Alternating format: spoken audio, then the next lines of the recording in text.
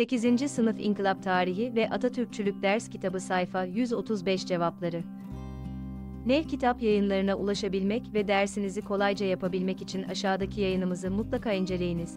8. Sınıf İnkılap Tarihi ve Atatürkçülük Nev Kitap Yayınları Ders Kitabı Cevapları.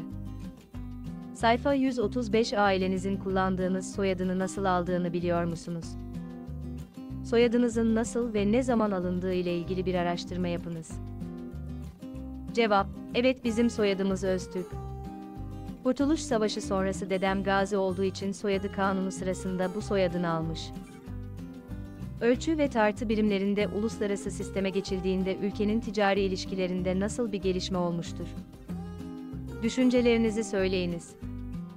Cevap, ülkemiz bütün dünya ile aynı anda aynı ölçüleri kullanmış, bu da dünya ticaretinde önemli bir konuma gelmemize ve ticaretimizin gelişmesine yaramıştır.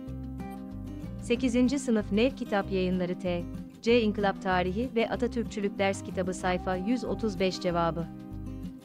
ile ilgili aşağıda bulunan emojileri kullanarak duygularınızı belirtebilir, aynı zamanda sosyal medyada paylaşarak bizlere katkıda bulunabilirsiniz.